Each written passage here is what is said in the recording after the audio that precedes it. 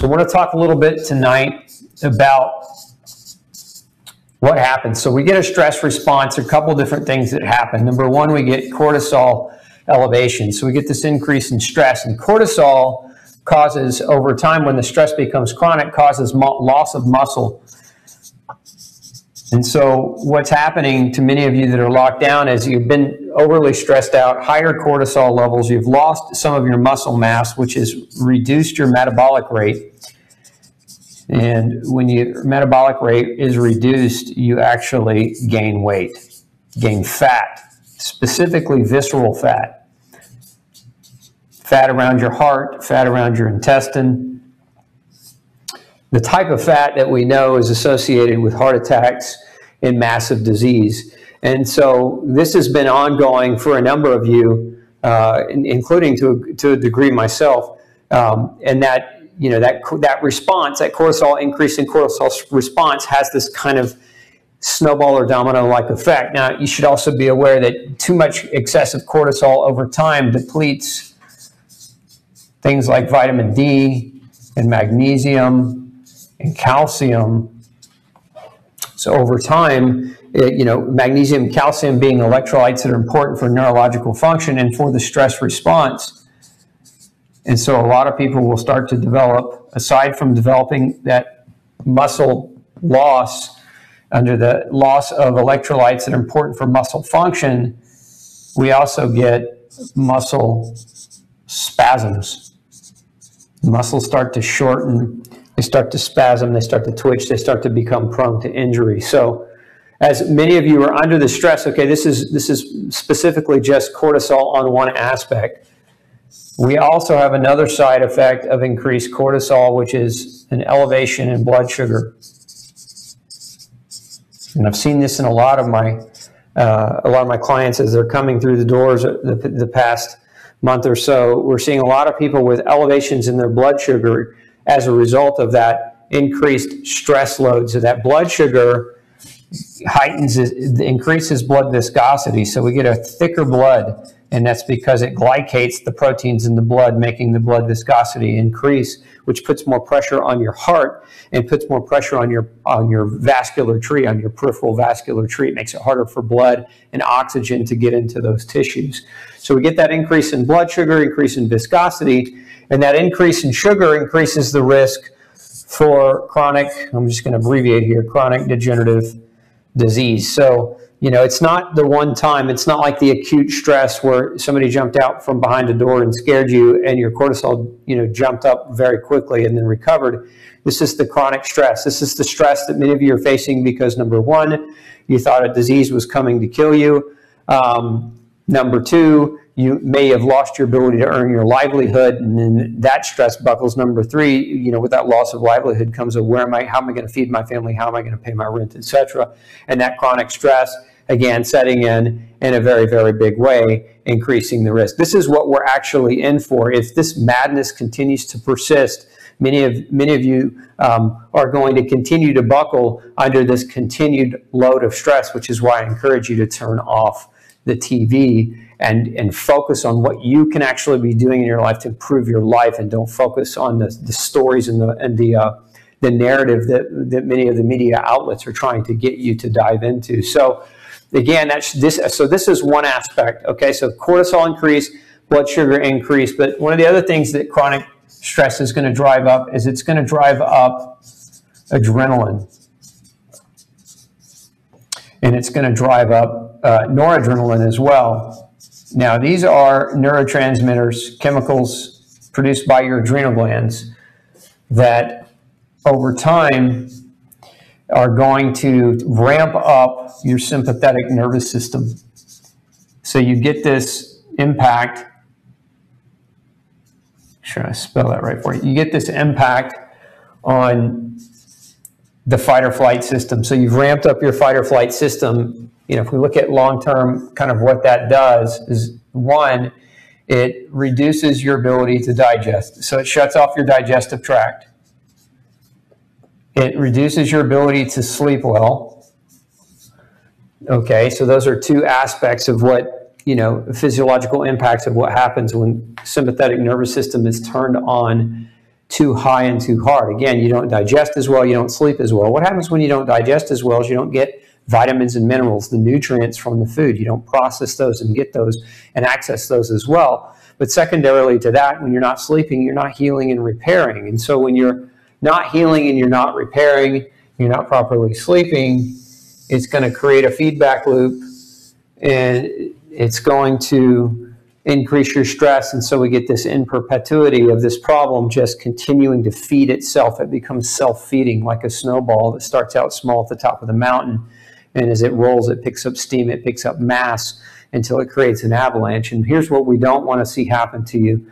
I don't want to see any of you having this process go on any longer than what's necessary where it wrecks you, where it crashes your health, because it's when you get to that point where your health is now crashed um, that you can't take care of your family. So the best, again, the best way that you can take care of your family is by taking care of yourself, by not allowing, not allowing this to get the upper hand and get the best of you. So make sure that you're supporting your stress mechanism. And part of how you know we can control this adrenaline, it, there's a couple different things. In my opinion, one of the best ways to do it is prayer.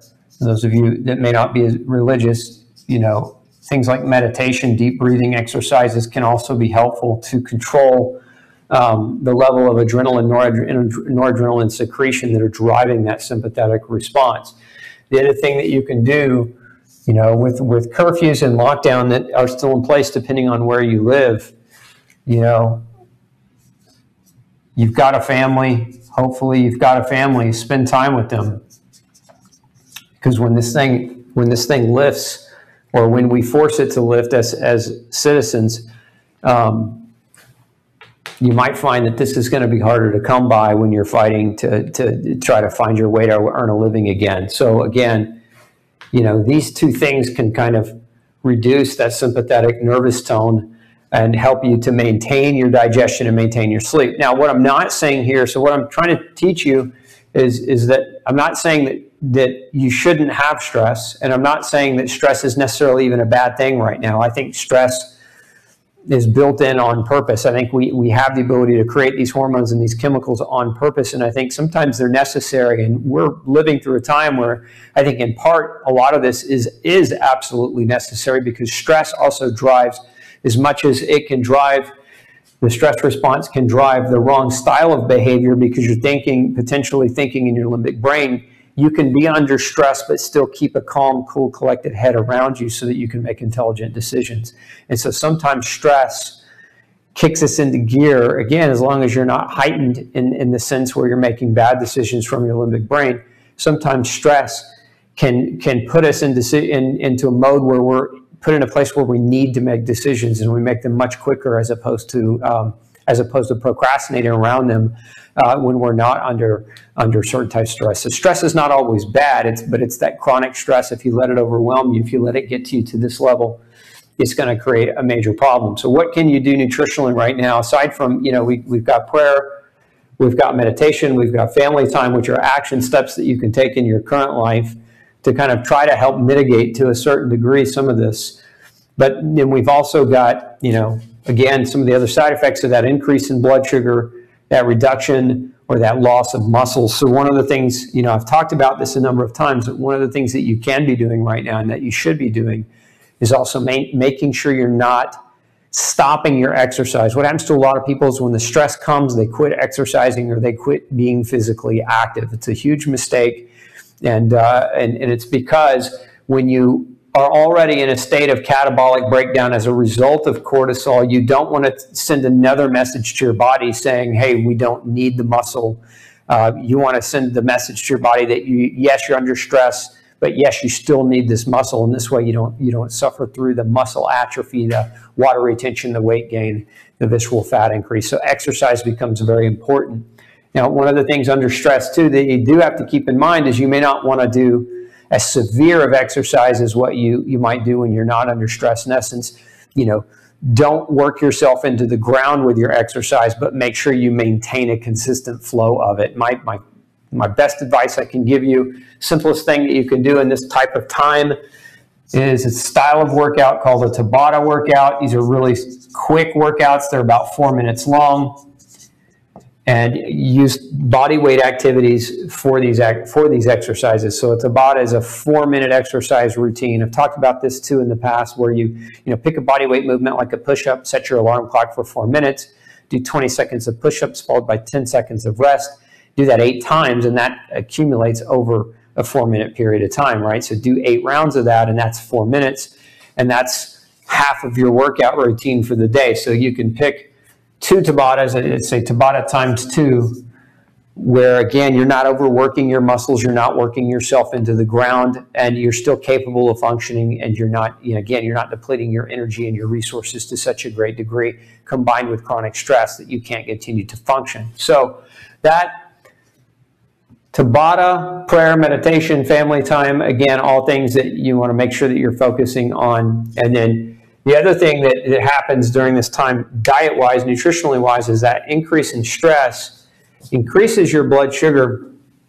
And one of the other side effects is it increases sugar craving. So, what happens to a lot of people is they gravitate toward those foods that give them the most comfort, those foods that give them the, the um, kind of the I call them the the the nursery foods is the foods that maybe when you grew up with that your mom or dad gave you that gave you comfort, right? Your comfort foods, whether that's you know some type of ice cream or whether that's some type of cakes, cookies, pastries, whatever that might be, whatever it is for you. For some people, it's chocolate, whatever that is. But again, that increases in sugar craving, um, and the problem with that is is the more sugar you eat, the more you feed the the beast. So that sugar craving, if you follow through with it, you know, we all have yeast in our in our GI tracts, but what happens to a lot of people is the higher the sugar count, higher the sugar goes, the more predilection toward growing excessive quantities of yeast in the GI tract, and that can go systemic, creating chronic inflammation, among other things. Uh, so, so again, you got to watch out for this too, because this can sneak up. And this, for some people, is, is not sugar, but it we could just draw another element in here. It's also alcohol.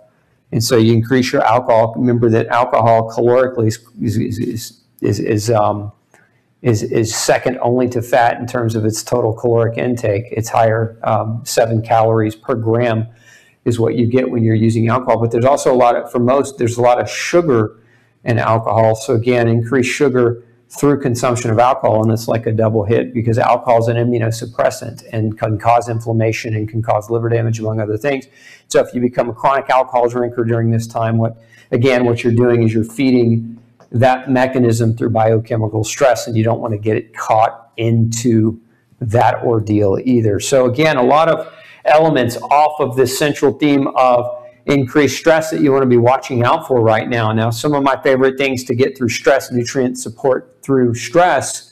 Um, one of my favorite is the same thing I talked about for immune system support, and that is vitamin C.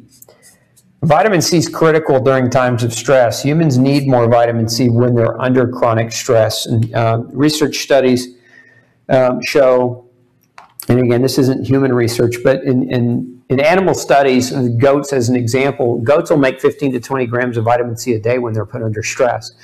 And the reason why we, we use goats is because humans can't make their own vitamin C. So we goats can make their own vitamin C. So we're trying to get an idea for the the uh, the what's called conditional need of an animal when high stress levels hit. So increasing vitamin C uh, during times of intense stress where we don't see a kind of a, a, light at the end of the tunnel. We don't know when that stress is going to end can sometimes be a very very effective way. Remember one of the things vitamin c helps to do is it helps to make sure that you don't run out of adrenaline noradrenaline and also dopamine. Dopamine is another neurotransmitter and vitamin c is necessary. You need vitamin c in order to be able to properly produce dopamine which is our happy hormone. Without it we can become depressed we can become fatigued and lethargic we can develop things like muscle tremors. So there are a lot of side effects that come into low vitamin C inducing dopamine deficit. So vitamin C is one of those things that you can do during times of intense stress. One of my other favorites is pantothenic acid, PA, uh, I'll abbreviate it, but vit- that's vitamin B5. Vitamin B5 is nickname. It's, it's actually discovered by famous biochemist by the name of Roger Williams. And this B vitamin is called the anti-stress factor or the anti-graying factor. Um, and so vitamin B5 plays a, a, major, major role in your adrenal glands being able to keep up when under stress. So I'd say if, if you could only pick two nutrients for acute or for intense chronic stress, vitamin C and pantothenic acid are the two that I would recommend. You know, you know, beyond that, certainly you want to make sure you're eating well, you're eating organically. Um, you know, again, don't fall into that whole line of where we come over here and we start craving, our blood sugar's already going up, but now we start craving, we start making poor dietary decisions. That'll just get you into more trouble. So, again, the vitamin C, the vitamin B5, very, very important in terms of times of chronic stress without end. Now, there's some other things that you can do nutritionally, and they're, kind of less to do with vitamins and minerals, but understand that, that um, and, and what some people do, and if you eat organ meat, this is great. You can, if you actually have access to adrenal gland, but there's a there's a type of supplement called an adrenal glandular, and these uh, are basically it's basically adrenal organ gland in capsule form that you can swallow, and it contains a number of different nutrients, a number of different um, a number of different um, chemical compounds that can help support you through times of great stress. So this is another addition that you can add on. The other thing you need to know is the higher and the longer you have stress, the more you're going to lose as a, just a general rule of thumb. So increased stress leads to an increase of vitamin and mineral excretion. Uh, and this has been studied in a number in humans. It's been studied a number of times as we know that during times of intense stress, we actually have nutritional def- deficiencies that can start to occur because the body's burning through more of those nutrients. But in many ways, we also um, excrete more of those nutrients in the urine uh, during times of, of, of long term stress. So you can become quite malnourished. So the other thing I highly recommend that you're taking during times of stress like this is a quality multi vitamin so something that has, you know, the vitamins and the main minerals in it to support you and to support your body's ability to continue to be able to function during those times. So again, back to my core message, which is nutritional biochemistry. I wanted to get back to that tonight. We've been so focused on COVID, and now we're having, you know, now we're having riots in the street. A lot of you are really worried. I wanted to give you something tangible that you could take away today it would really give you um, the ability to preserve your health as we go through this very, very unpredictable year so far of 2020. Hey, don't forget to check out the rest of the series right here. Make sure you hit subscribe below. And as always, thanks for tuning in.